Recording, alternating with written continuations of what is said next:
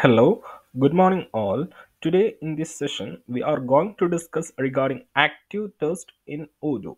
So currently in the screen you are seeing Odoo version 15 community edition where we are continuing our Odoo 15 development tutorial.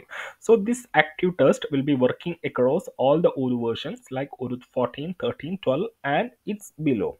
So let's see what is active test and its use case in Odoo. So if I go to the patient details menu and here we have the master of patient and here you can see currently we have around 17 patients in my database. So here you can see we have got around 17 data 17 patients in the database. Now take a case where we have to inactive the patient with name or arm methods. So we can select a record, click on action button and I can archive the record. So if you click on archive, okay the record will be getting disappeared from here and you can see the count has been decreased to 16 now if i need to get the inactive records i have to filter archived records. So if i filter archived records you can see we have got around two records which is archived in the database. That is or methods and the patient with name odoo b. So if i remove the filter the odoo by default will show only the active records in the database. So once we create this menu and we have in the corresponding action if i click on edit action i have specified this menu is linked with hospital dot patient model without any domain. So it has to show all the records from this model that is hospital dot patient but by default odoo will show only active records in the database. So if i go to the technical and to the playground so here we have a code execution place. So if i write a code here like self.env and I'll search inside patient model hospital dot patient and I'll use search count ORM method. Search count of empty domain. And if I execute this code you can see the result is coming as 16 which is the number of counts of active records in the database.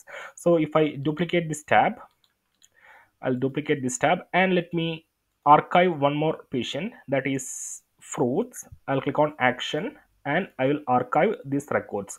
So here you can see if I come to the tree view, the count has been uh, a decrease to 15 and if I execute the same code, you can see the result is coming as 15, the number of active records in the database. So there might be case where you have to ignore this testing of active records and to get all the records without considering whether it is active or inactive.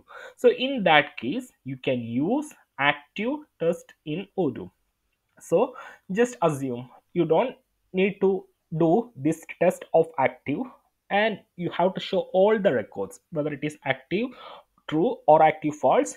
If you need to get all the record what you have to do is that in the corresponding action. So here we have menu and action. And if you need to get all the records we have to pass in the context of that action.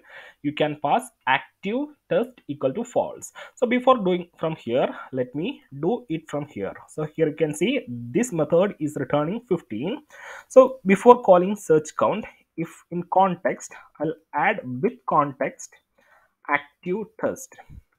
Active test equal to false. So in context i'm saying we don't need to test that this method is active test. So i'm saying it has to be false. So a marker is passed with active test false dot search count. If i execute that you can see the result is getting as 18 which is without considering whether it is active or not. So if you are dealing it from the python side just you have to pass active test equal to false inside the context. So here i can pass the context as with context. And if you need to get here so currently the here also it is coming 15 so if you need to get all the records here click on debugger button edit action.